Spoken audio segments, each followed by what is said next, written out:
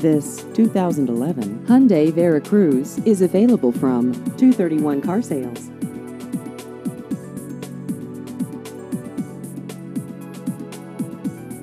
This vehicle has just over 68,000 miles.